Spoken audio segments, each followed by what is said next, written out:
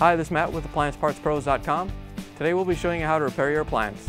Remember, anytime you work on an appliance, make sure it's unplugged or the circuit breakers are off so there's no chance of electrocution. In this video, we're going to show you how to change out the GE refrigerator light switch. It's going to be a very easy repair and should only take a few minutes to show you how to do it. If you already have one of these, great. If not, you can click on the link below or get it at AppliancePartsPros.com. When you open up the package, you're going to get the new light switch. The light switch is what tells the light to come on when you open the door. The main reason you'd be changing it out is if it's shorted out and the light doesn't come on. In order to get to the part, we have to open up the fresh food door. Now that we have the door open, we have access to the switch. It's located down here at the bottom by the crisper panels. What you need to do is get behind it. There's a release tab down on the lower half, and then you may have to reach in and grab it and just pull the top half out and kind of wiggle it out. Once you have it out, then we can take the wires off.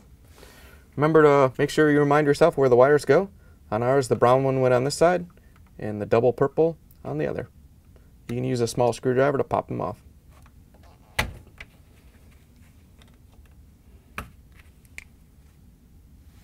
Here's the old light switch next to the new one.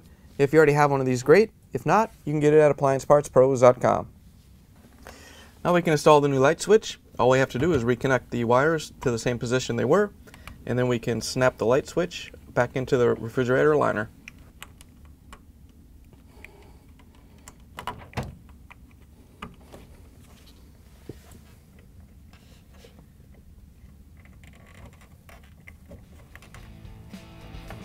Now that we have the new light switch installed, we can close the refrigerator door, plug it back in, and make sure it starts to cool.